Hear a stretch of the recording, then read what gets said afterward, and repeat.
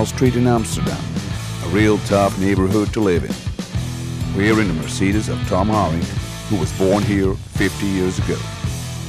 Thom is one of the leading senseis in the world of Muay Thai and kickboxing. Hey Joop, vanavond hebben we die uh, meeting hè? Dat weten. Ja. Om half zeven. Ben je er ook? Kunnen we die zaken bespreken van de bond? Oké, okay. bye.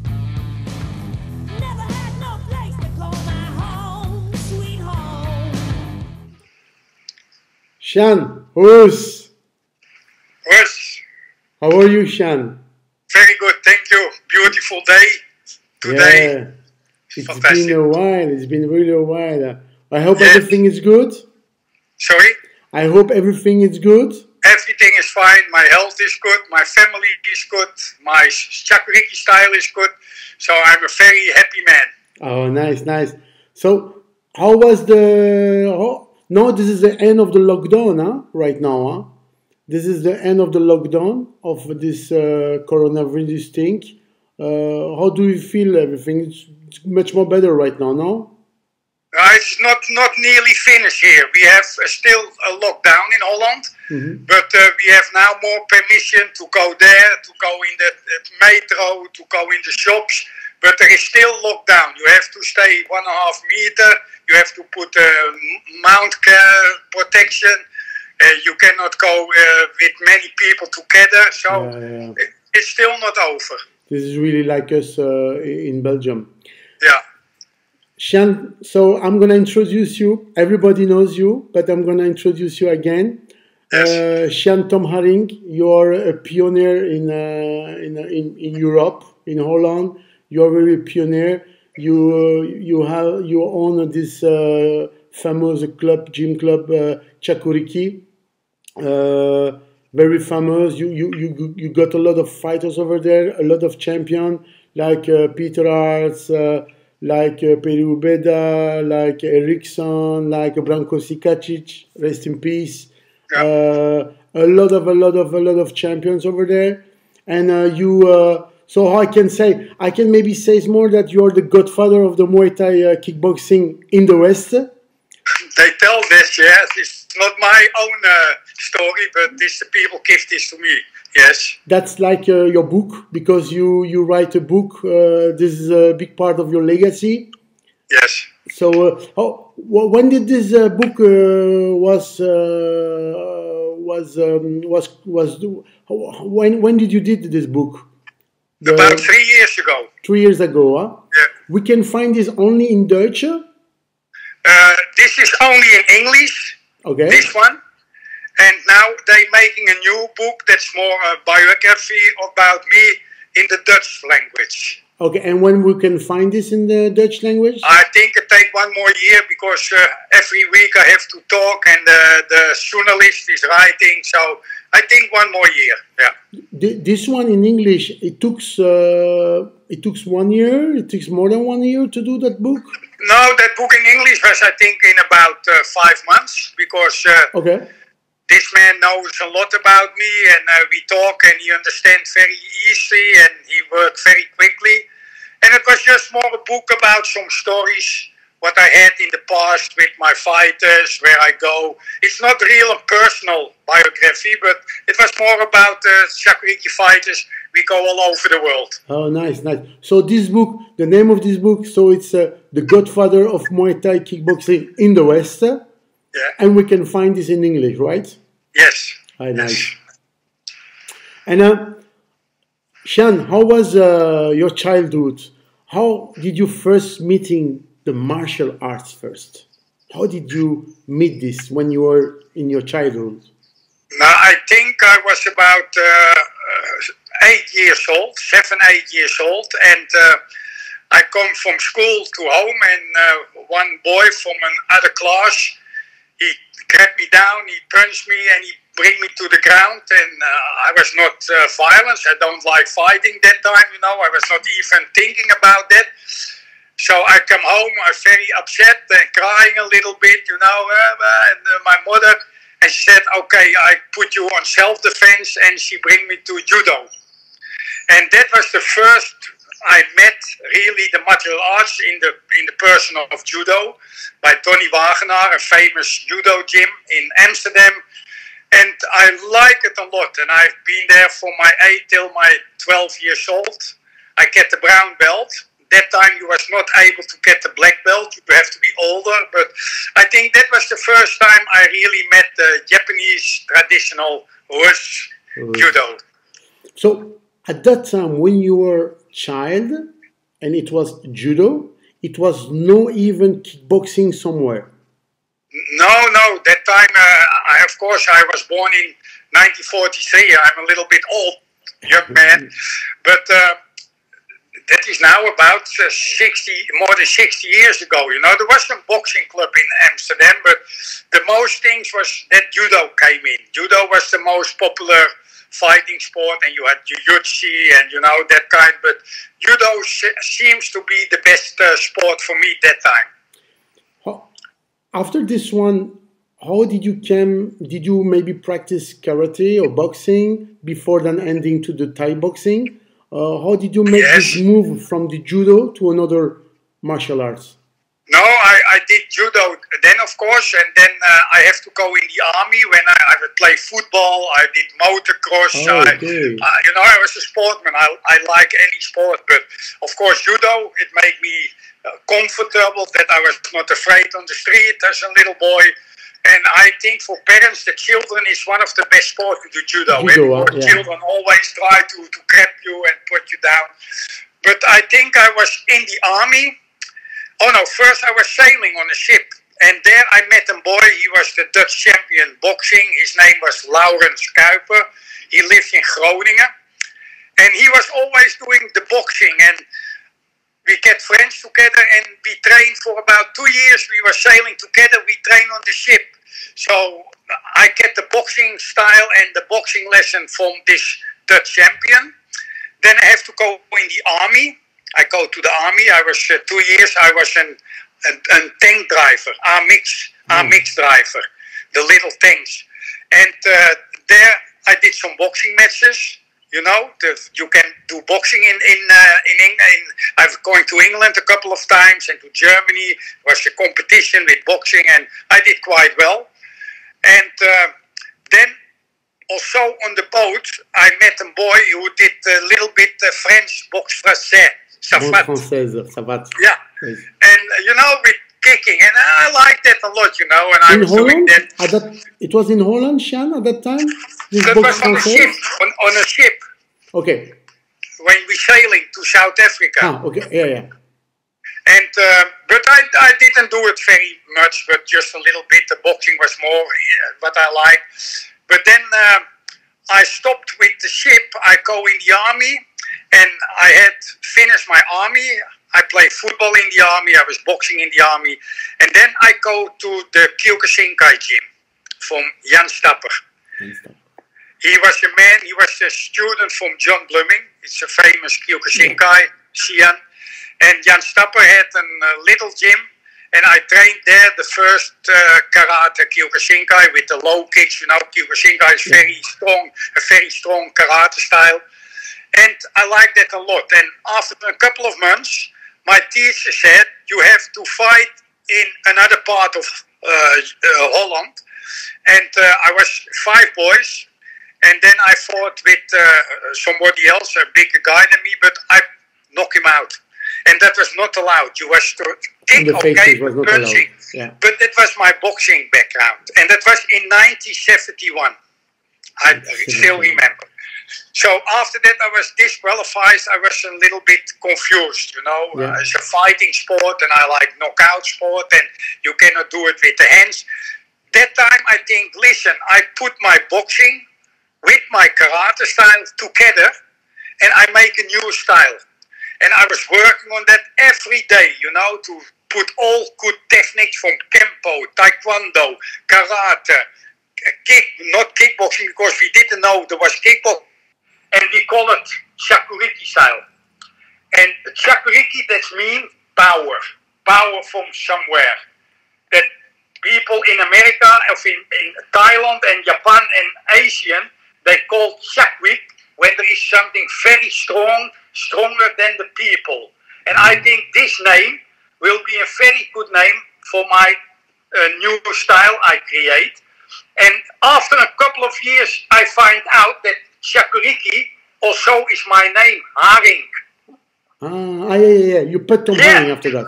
Only you have the U, you have to turn in N, then you can make my name Exactly. Exactly. Unbelievable, unbelievable. I didn't know that, but okay. And that was, I start in 1972, I start my Chakuriki style.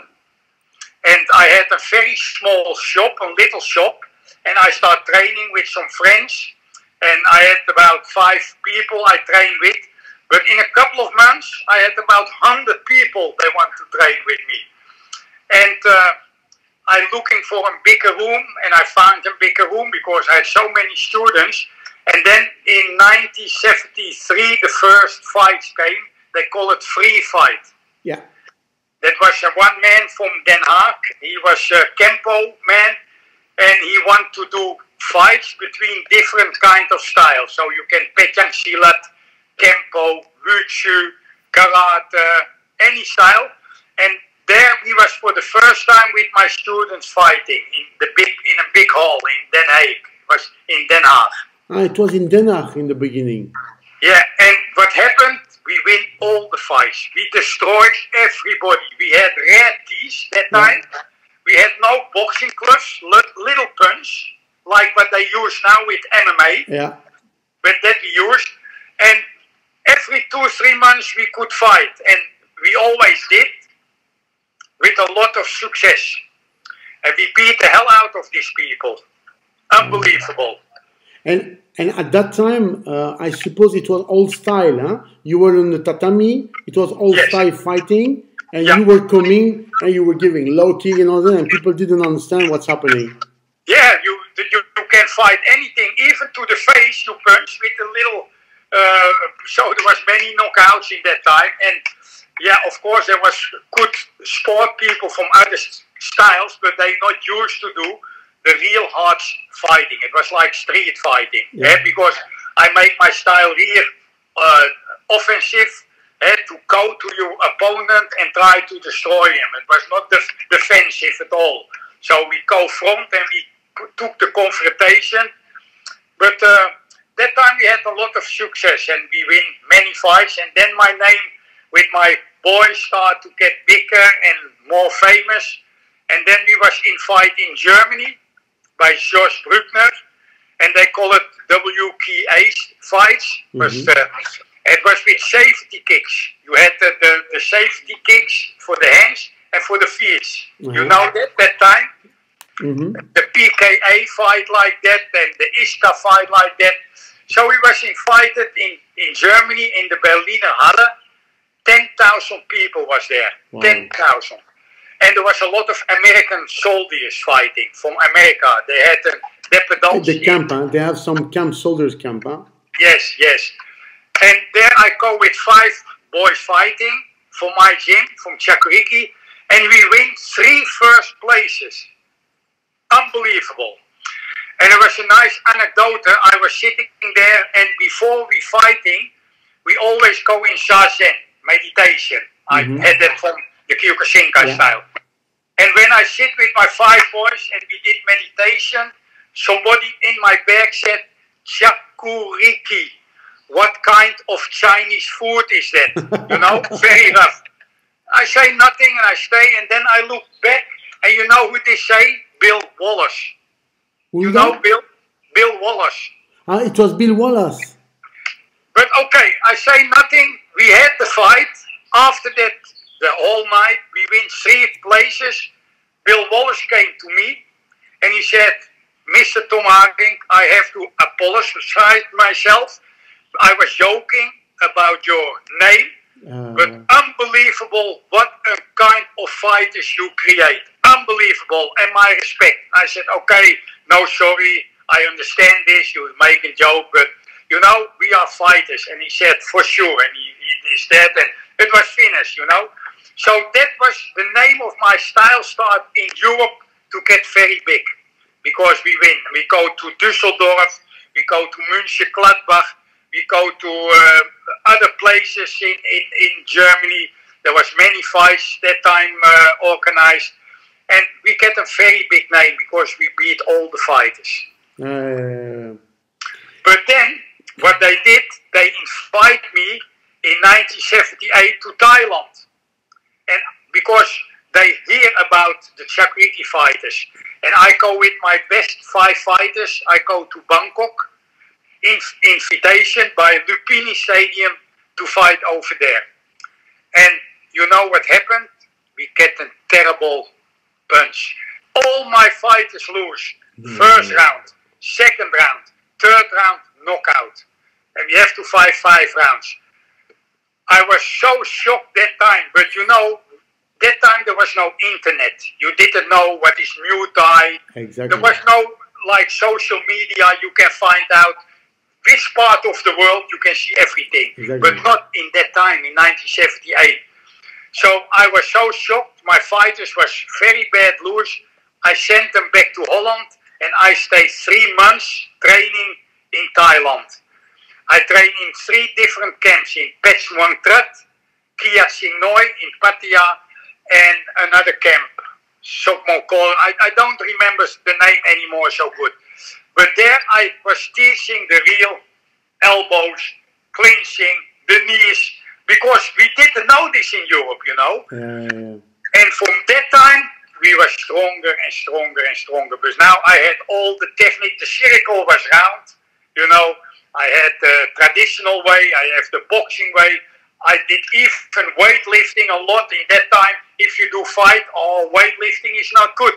I did because I think we get stronger, but we did speed training. You understand? Yeah. Not 200, no, maybe 50 kilo, but, but, but strong.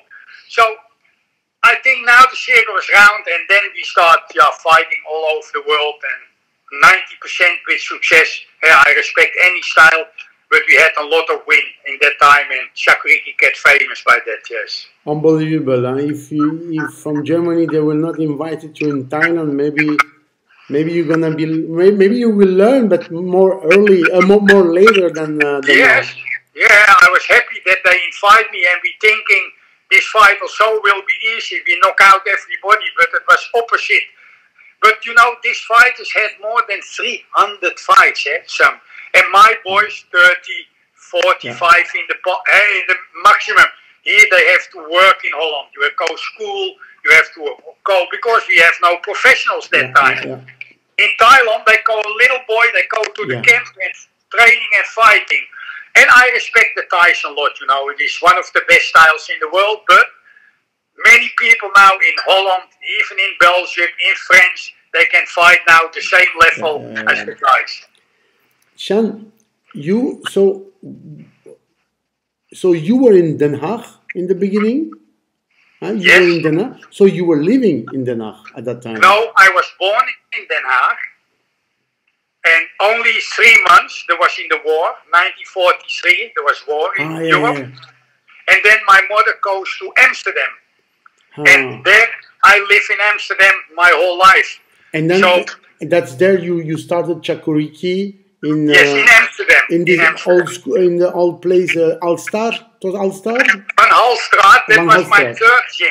It was My- your third gym. Before I had a very small place That near was there, down the corner. But I told you when I Yeah. start, and then also another, you know. And then the third gym was the Van Halstraat. You have been there, I think. Yeah, yeah. Before in the past with my brother and Costa and all these. Uh, Yes. but and so all the fighters like Branko Cikatic, Peter, they started in uh. Yes, yes, yes. Okay, okay, okay. And um, uh, let's come back to the Kyokushinkai. So you you you training with someone who was training with John Bloom, Jon Bluming. Yes.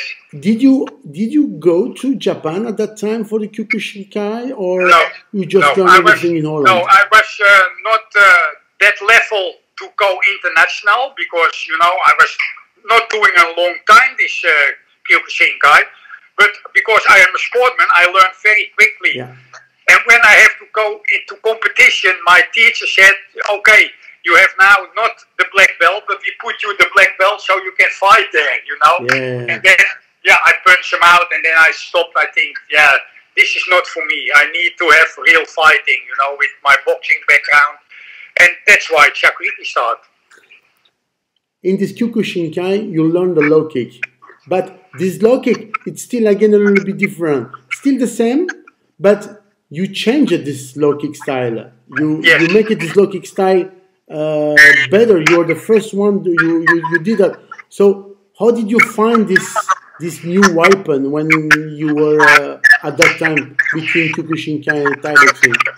Yeah, you know, when I start, of course, uh, in, in the Kyokushinka, there was not many bags, but when I started my gym, I had more than 25 bags, and I loved it. And we made the first long bags. That time there was no long bags, you know. Yeah. So I let it make by factory, and by kicking every day, thousand left, thousand right, you find the way, the feeling, what is the most dangerous leg kick. You know, it's it's just by practicing by yourself to feeling and what I feel. This is what I was teaching to my students, and it was very effective. We saw, we, you know, everybody knows when you fight Shakriki, you get beaten by many low kicks or even the high kicks. Have Peter Aerts, the Dutch lumberjack, he had strong low kicks. Hesdy Gerges, strong Yeah. low kicks. I have many good low kicks, boy. It's, you know, Perry Ubeda, he can easy high kick, but also good low kicks. And one time, one American man came to me, he said, ah, the low kick, he did full contact kick. He said, the low kick, I can teach my grandmother in one week. I tell him, listen, man, if you want to have a good low kick, it takes you two years every day to get a real good low kick. Even it looks simple, it is a very technical kick. And you know, you have to know where you kick, you have to know how you kick, you have to know the technique, the speed, the balance. It's not easy to do a low kick, what the American people said. Are you surprised that in Thailand they were not throwing low kick? Yes, they they did, but not many. They was oh, now they start changing. Eh? Yeah, I saw it. Now they do by the European, they, they do more boxing, eh, like Buakaw and all the big Sure. boys, Samart Payakaroon, Dieselnoy. They all start more boxing and more kicking to the legs and to the mouth. But before that, when I go to Thailand, they only kick high. They was only kick the middle and high. I was surprised. But Yeah. they, the boys were so strong. When you kick the low kick, they had not so much problem with that because they're so professional. Of course, now we are also professional like the Thai, but in that time they was too big for us, really too big. In 1978, Yeah. Yeah. But only one Thailand surprised me, and I don't know if it was the first one. It was his name was Songmong. It was Songmong. Uh, the Thai who was uh, at the end. He was living in France. He was already throwing a low kick a lot. Uh, yes. it was Songmong or Yeah, you had Song Song. Samsung. But the- Samsung. Samsung. It was Samsung. Samsung. Yeah. Yeah. He was Ah, the only one. strong. But even Fanta Atapong, Fanta, he fought with Jamali, he fought with uh, Nick Bloomberg. He also uh, had good low kicks. They can do, you know, the low kicks, but they was not doing it too many because the system in Thailand, when you kick high, they like it more for the points than boxing. Yeah. And that was the, the point system, but they changed this now too. Now, one kick or one punch is the same, you know. They Yeah. the elbow too, the lot of Sure. shit, shock cow, you know. Sure. So- Sure. Sure. In Holland, we started first. Of course, we had many fights in Holland, and uh, uh, there was only that the real kickboxing started a little bit later in 1976, I think. Then the first fights we organized with uh, the Mejiro gym, another gym. You had two gyms in Amsterdam who was quite big for name. That was, of course, Chakuriki and Mejiro gym. And the same time, Mejiro gym go to Japan to do also Kyokushinkai, and there was Kurosaki. Kurosaki was from Oyama, and he was doing a kind of kickboxing what they learned from Thailand. Oh yeah. And Jan Plas was doing the same time that.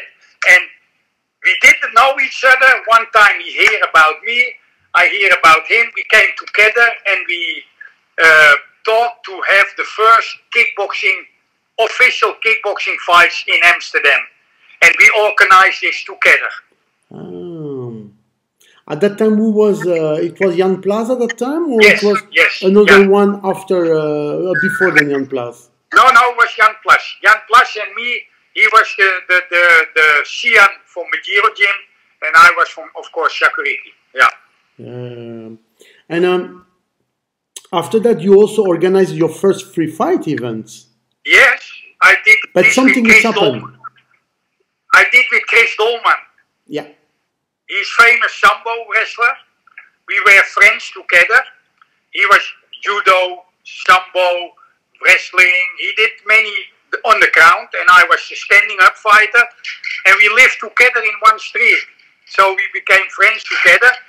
And we tried to plan the first free fights in Holland. And we organized this. And I was there with about six boys. Five fights. One opponent didn't came. We win five fights on knockout. And we fought against judo people, wrestling people, uh, other street fighters. Everybody can come in, you know. And it was so popular that there was the press was there, and the day after we have to come to the police, and they said this is no sport. You cannot do this in Holland anymore. And then it was forbidden. Um, But now have uh, in America MMA. yeah. It was started in Amsterdam, but our government, you know, they don't Yeah. like fighting and they against fighting, so they stopped it. And yeah, So, uh, certainly, so you you were f- before the UFC, or it was a little bit at the same time? sorry. You remember the UFC one? So you Yes. were you were doing the free fight before them? or- Yes, yes, So a couple them. of years before. It was the first time, you know, we did.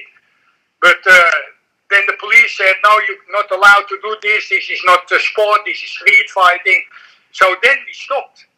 So then White, then White may be happy in America that we stopped. Otherwise, the MMA was in Holland the biggest, you know. But Yeah, yeah, sure, sure, sure. And um, uh, you at that time uh, when you were uh, so Chris Dolman was with you. He was the part of this uh, all these uh, free fightings, and uh, uh, and he was also doing some Japaning and some wrestling. He was doing also. Huh? Free fight, yeah, free fight. But that was also boxing and wrestling, what was in um, in Japan very popular, Mhm. you know. And they did there a kind of free fight, yeah. It was a kind of free fight, huh? After that, you you you- started to create it your uh, your uh, own uh, federation, Bond, and uh, uh, that was the uh, World Muay Thai Association. Now, first we start the Dutch Muay Thai Association in Holland. Okay. I had about uh, 40 clubs together. We organized fights together. And then, of course, I was many times in Europe. I get many connection in Europe and we start the European Muay Thai Association.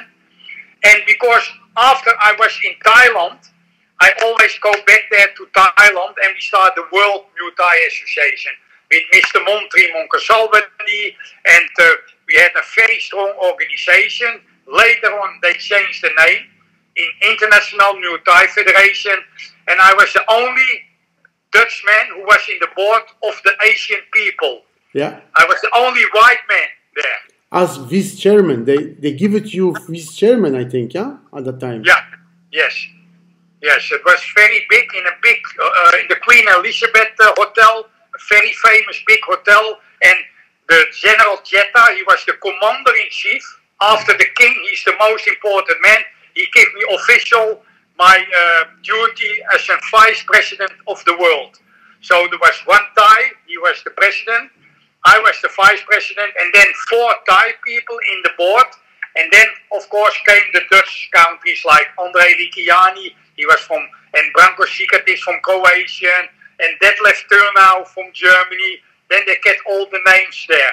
But uh, I was very uh, surprised they made me the vice president. Yes, because it was big federation at that time, huh? Yeah. uh, in, in in Thailand. But let's explain again to everybody because we know it, but uh, maybe a lot of people no, don't know. But but in Thailand, in Thailand, the Muay Thai sport belonged to the army, right? Yes. Why? Yeah, it's uh, you know not even only Muay Thai. In in these countries, the military are in everything the, the top. Of course, I had the king, King Bhumibol. That time he died, a good man, and now his son is there. But uh, the army is is the boss. The army is very strong, and you have Rajadamnern as police, uh, Lumpinee. You know, so you have different kind of groups, but the most powerful group is the army and they control everything. Like I said, General Jetta, he was the commander in chief. Uh, he controlled the whole Muay Thai. Yeah. And let me ask you, when you go back again to Thailand, when first time you lose it all the fight, when you go back again, uh, how was the results in the future? I promised that time when I get loose so badly with my boys, I was ashamed for myself. Of course, my boys fight, but I'm the teacher and I yeah. feel very sorry for my kids, you know, for the boys. So I promise after two, three years, I will come back and we have a level we can fight the same. And I did. I go with Gilbert Ballantine. He fight. He fought Samart Payakaroon. I go with Rick Vatos. He fight Fanta Atapong. He win. Uh, we had many fighters. We go Hippolyte. He go fight there. Raymond Dekker. That was all from our side from the Muay Thai Association. So we fight and we show that we are real fighters, and that's why we get a lot of respect from the Thai people because they know that. Yeah, you know, yeah. What's happening, uh, Shihan, when uh, in, in, the 90s, so you, you had this dojo, Chakuriki dojo in Hallstatt, and, uh, and so all these champions come from there. Uh, Aerts, Branko Cikatic, Ballantine, as you said, Ubeda, Faizel Reding, Erikson, yeah. Belaini brother, yeah. uh, Lloyd Van Dams, again, you know. so many guys, many guys, a lot of fighters. How come that uh, you you move it from this gym to the other one where you call it where you call it Chakuriki again, but Pankration also? Yeah. How, how, how did you move from one place to another place? I sold my gym to one of my students, mm-hmm. and then I moved in North where I live. It's only five minutes from my house. Mm-hmm. It was a very big gym, and I bought that gym with Chris Dolman together. Yeah, we had it, and we call it the. Of course, I had my Chakuriki style there, and Chris had wrestling. That's why we call it pankration. Pankration is a little bit like Chakuriki, yeah. a complete fighting style. And because out of respect for Chris, I didn't want then only Chakuriki gym, so we call it pankration, that everybody know Chris is doing wrestling pankration and I'm doing Chakuriki. You see? Yeah. And all the boys go with me to the new gym. Everybody go with me. That was a nice gym, huh? Yeah, beautiful. It was really nice gym, I remember. Yeah. What's happening that gym? He still exists from Chris Dolman. And Chris Dolman is still busy with that? Yes, he still is. I want to stop because uh, I, I think I have 45 years, nearly 50 years. I was every day with my gym, and I'm, of course, getting older, and I have a young family. My wife is 25 years younger, and she's a professor at the university. She had a PhD, yeah. and uh, my children are studying at the university. I only have six years school. Eh? I never go to school. I was a street boy. but I think I need a wife with a lot of uh, brains. Yeah, so I'm true, a beautiful wife. And, you know, I want to, after 45 years, I want to stay home. I can imagine, know? yeah. because, you know, I have more than 25 professional fighters. Then I go to America, five days. I have to go to Japan. I have many different weight classes. I go with the lightweights, I go to Hong Kong. With the middleweights, I go to Australia. You know, I was never a day at home anymore. And mm. I, I, didn't see my family because I only go within the hotel sleeping. I was fed up with it. I mm. think now, after 45 years, I want to stay home. I do some seminars. I have many gyms all around the world now. And that I can do, but not every month, three, four times go to hotels. I didn't like anymore. Yeah, yeah but you did a lot, a lot, a lot traveling uh, everywhere. Uh, I can imagine. And the body, you need to feel your body now, and the mentality and the body, you need yeah, to feel it. Yeah, but it's still strong, you know. I, I feel it okay, but uh, you know, I didn't see grow up my children. and now my, I have a daughter, 23, daughter 21, both study university. I have a son, 18 years old, eh? also financial study. I, I have to be a little bit with them, you know. Eh? Yeah. Otherwise, maybe later they said, Papa, I never see you. So, Yeah, sure, sure. It's, it's normal. This is normal. yeah. Shihan, explain me a little bit. Uh, how did you make this contract uh, the first time uh, when you goes to 90 in, in 93 when the first one the K1 was born uh, Yes. you were you were there with Branko Cikatic rest in peace and uh, it, it was a tournament I don't know if Peter Aerts was also in that tournament Yes, yes, was Peter also? was how Listen. came how came the story about the first time in 93 uh, you go to K1 I tell you the story because, of course, I get in Thailand fight uh, now, and I fight in Europe. The name getting bigger. And one time I get a telephone call in 1993 from Mr. Ishii, and he asked me, uh, uh, Mr. Thom Harinck, we make a tournament with eight fighters all over the world. You have a strong young fighter from Holland. Can we, do you can have a boy in the heavyweight? I said yes. I have Peter Aerts. He's uh, 19 years old or 20 years, I think he was, and uh, I can come with him. He said, "Now, fine." They sent the contract by letter. That time, everything by letter. yeah And about one week before we go to Japan, I get a phone call from Mr. Ishii. And he said, uh, Mr. Thom Harinck, uh, one fighter is sick, he pulled out. Do you have maybe one week before the fight another heavyweight? I said, yes, I have. I have a fighter. He's not so young. He was 38 years old. His name is Branko Cikatic. And you know, in Chakuriki, when you have no fight, it's no problem. You call, you're always training. We always train. And if somebody call, can you fight? We are ready. We're ready to mm. fight. I always said to my boys, here is the red line. You not go under. Always stay good fit. And when you have a fight, you only have to train maybe two weeks more harder, and you 100% fit. So Branko was fit for 80% that time. I said, yes, Miss Ishii, I have a fighter. His name is Branko. He said, oh, I'm happy. Can you bring him with him?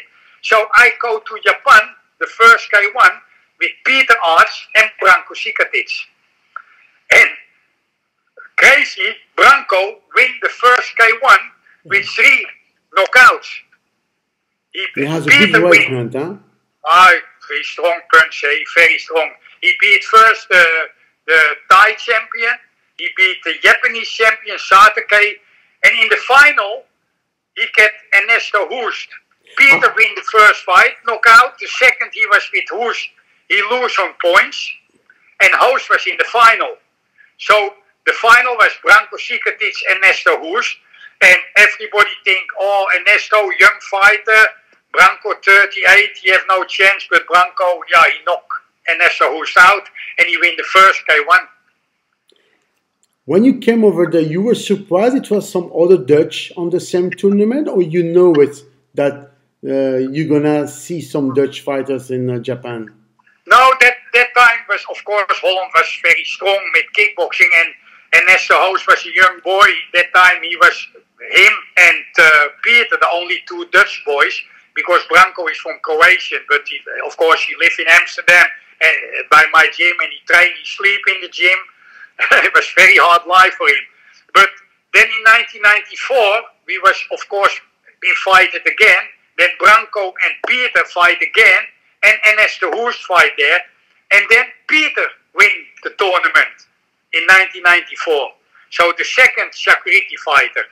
Then in 1995 again, Peter win again.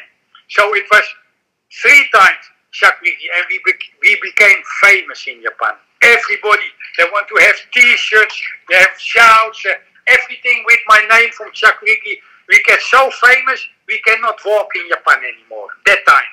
But at that time, for you, it was the first time you went to Ta- to Japan in '93. I, no, I was one time before with Peter Aerts. He fought Adam Watt.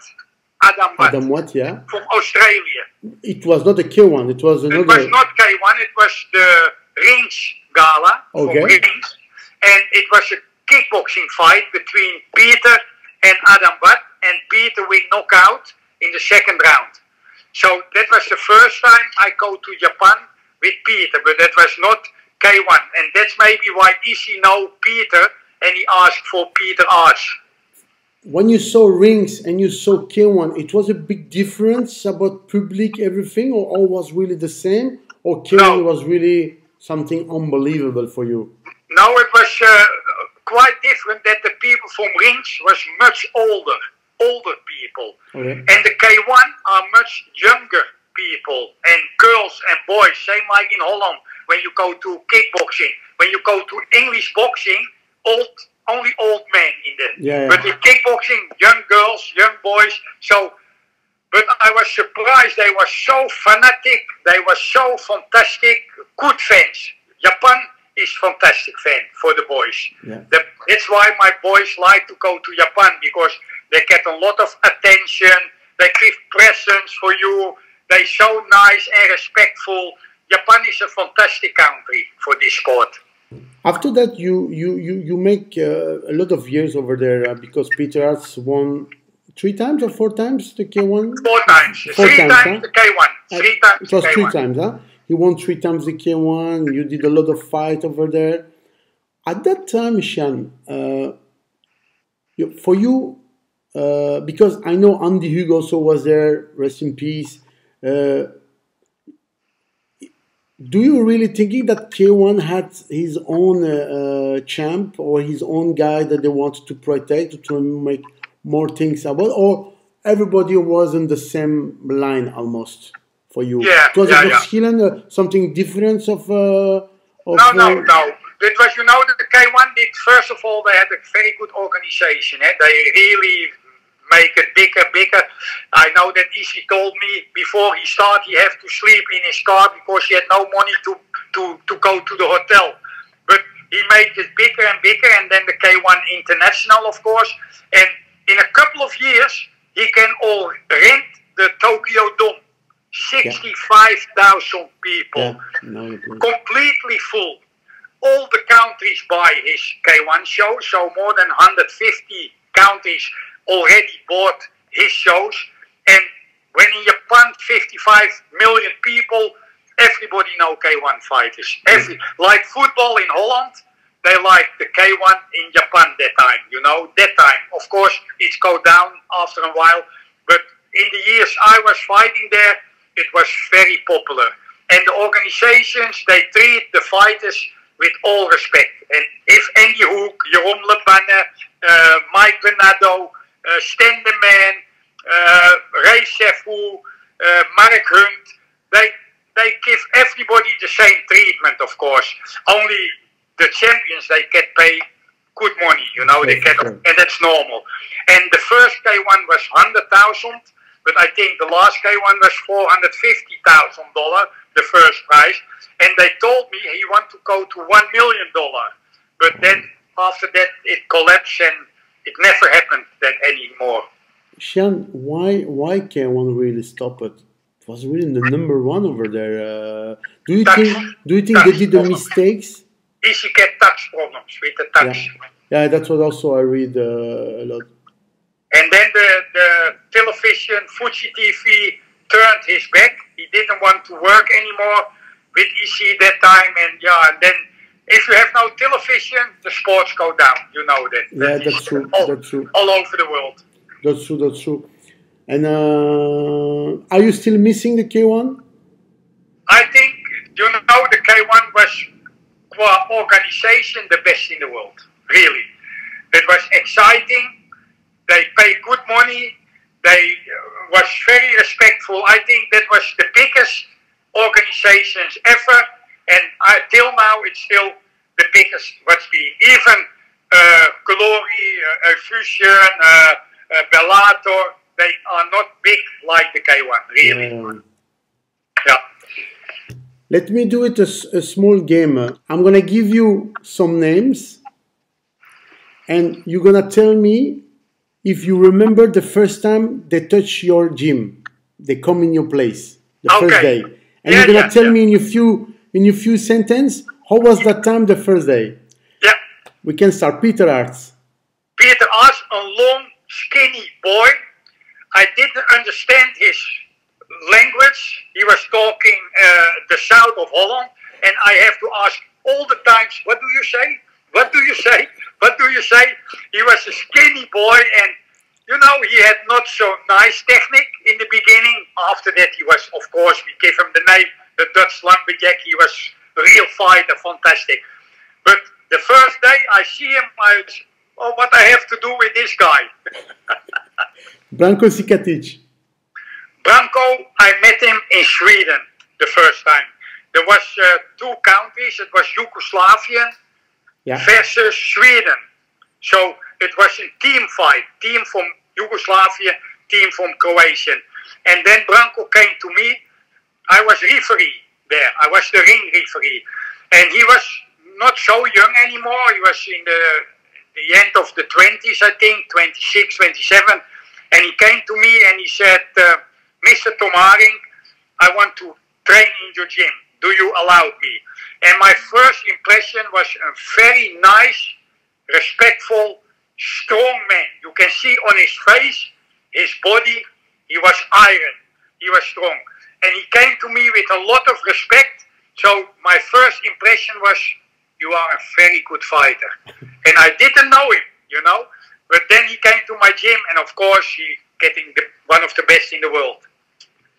Perry Ubeda. Perry Ubeda, he came, he was a very shy person, very shy. And when I see him the first time, he came with his father, uh, Joe Ubeda, the famous uh, ring referee from uh, Story and Glory and all the other fights. And he was also a very nice man, and he came to me and he trained the same evening when he came, and he was fantastic. Very good technique. Of course, I have to show the Shakuriki style to him, but his technique was already good. He had a Taekwondo background. He can kick, kick very easy. I only want to his kicks more powerful and more boxing. But my first impression was very good of Perry. Yes, Erikson. Patrick Erikson. Patrick he, Erikson. he came in my gym. He sent me a letter from Thailand. He was training in Thailand that time. Oh. And uh, when he was training in Thailand, he, he's from Sweden. He asked me to come to my gym. And of course, he arrived in my gym and he slept in my gym. And he was uh, lightweight, 61 kilo at that time. But uh, I remember I had a very good impression. A boy who wants to have the hard life. You know, he sleep in my gym. He sleep in Thailand in the camp. He had a lot of infection. I go to him with the doctor in Holland because Mm. it was not healing. He had a very hard life. And this boy was many times in young boy. He was only 18 years old. From his school, from his mother, he go alone to live in camps and training. So I had a lot of respect, and I help him, him in my gym. He can have sleep, and sometimes he had no money. I give him food to eat because he had nothing. Yeah. And then he start fighting. He get, of course, money with fighting, and he get better and better. And he was professional, you know. He get his money, and he start working in the, doorman. Uh, he was even by Albert Heijn. It's just a, a, a food store.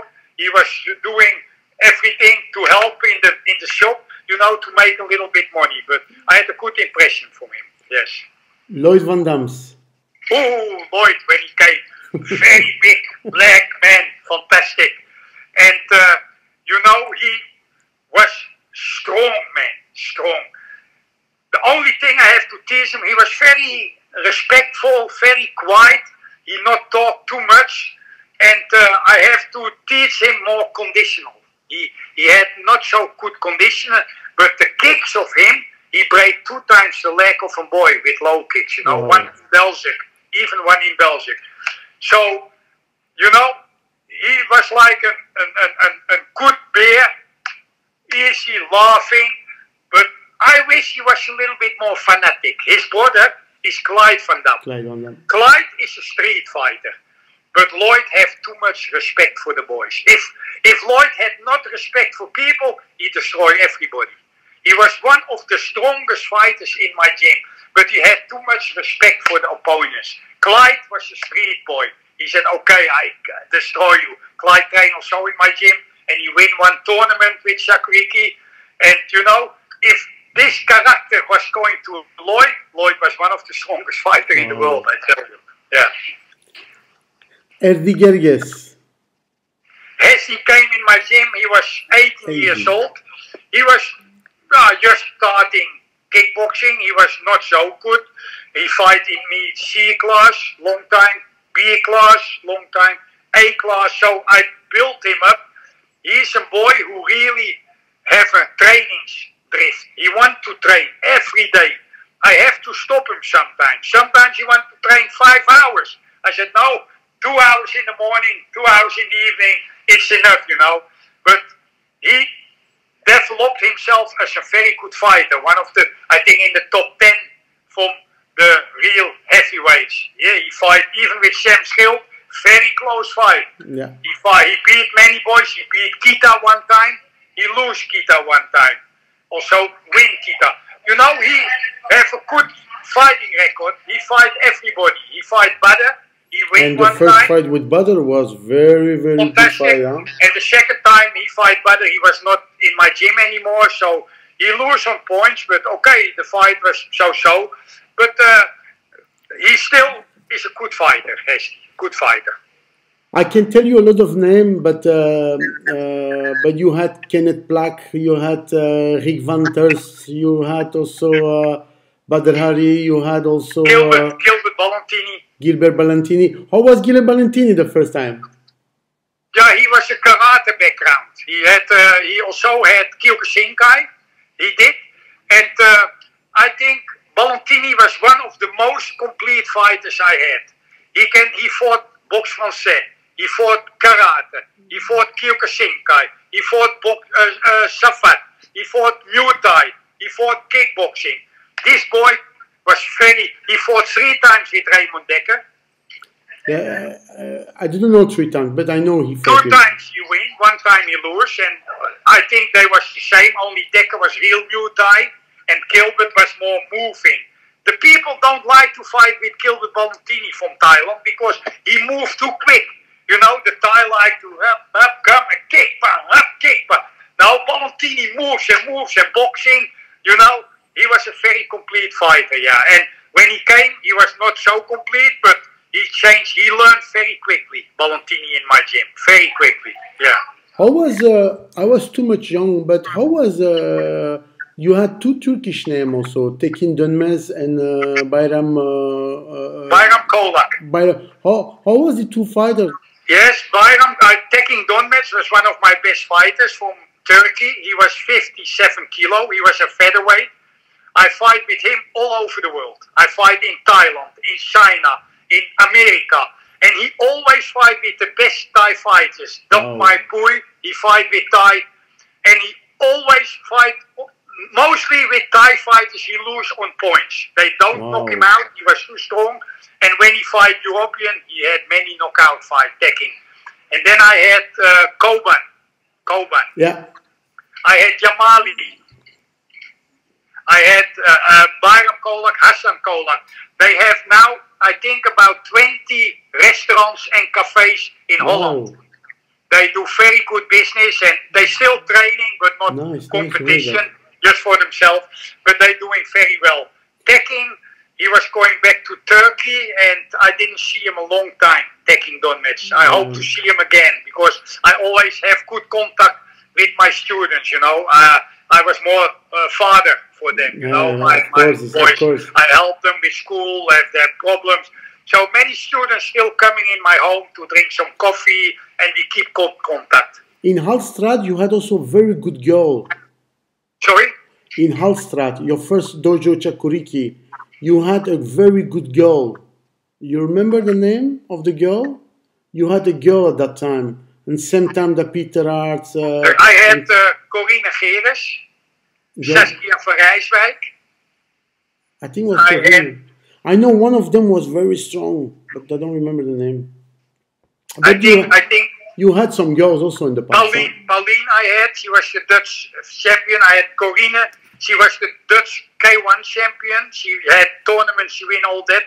Yeah, I had many girls. I had Glenda Poeder, a, a girl from uh, Suriname. Yeah. I had many, many good girls. I was the first who had a real girls uh, women, only for women, I had 20 fighters, girls fight. In that Only time, eh? In that time, we could not fight opponents, but we had many girls fighting, yeah. Shihan, how was your relation with all the fighters uh, since the past? Uh, how was this relation with them? It was more you were more more uh, okay. You were disciplined, but you were more Yes. strict, or you were also laughing a little bit. How was this relation with all of No, in, them? in, in my gym, I was really, I was a dictator. Yeah, I was, I was, I give lesson autocratisch. You know, nobody can talk, nobody can say something. Uh, you do what I do. In that hour, I train very hard. We did one hour full training. But after the lesson, if you have something, you have a problem, then I'm normal. You can talk with me like father and son. But in the the dojo with training, I don't. You can say nothing. Uh, even I kill you. You have friends to let me before, do. friends after, not between. And, uh, we was famous by our hard training. Eh? You know that we go night training in the night, two hours in the sea. We train so hard, but that was one side of my heart, and the other side of my side was a normal man. you know, if you have problem, if I can help you, you know, but you can tell me what you want now, but not in the dojo. There, I only have to tell. That was my style. Yeah. You you you remind me a, a lot because uh, uh, my my my uh, former trainer was uh, Andre Rigiani and uh, Andre Rigiani. He was like your right hand because uh, he was the vice president of your uh, of your uh, bond, huh, of your Yes. federation.